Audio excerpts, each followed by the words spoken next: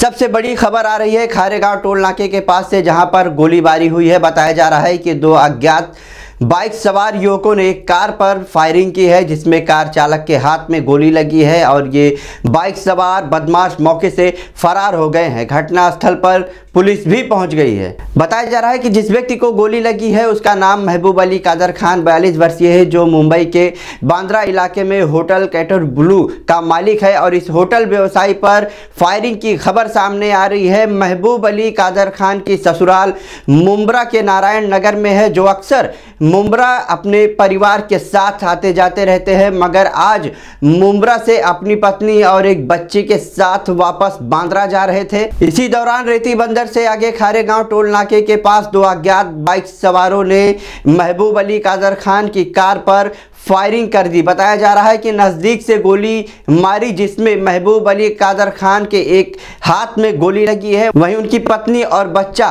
सुरक्षित हैं। बताया जा रहा है, ये घटना करीब रात साढ़े बारह बजे के आसपास हुई है। मौके पर पुलिस पहुँच गई है। आखिर इस होटल व्यवसायी पर कौन लोग हैं जो गोलियाँ चलाकर फरार हो गए हैं? आखिर क्या किसी के साथ इस होटल व्यवसायी का विवाद है, या फिर आखिर कौन है जो जान से इस होटल व्यवसायी को मारना चाहता है? ये पुलिस जाँच में ही पता चलेगा जब आरोपी पकड़े जाएँगे। घायल महबूब अली कादर खान को इलाज के लिए कलवा शिवाजी अस्पताल भेज दिया गया है। वहीं बताया जा रहा है कि इस घटना से होटल व्यवसायी की पत्नी और बच्चा बेहद डरे हुए हैं। पुलिस इस गोलीबारी की घटना की जाँच में जुट गई है। तो तमाम खबरों को जानने के लिए देखते रहिए प्रहार टाइम्स।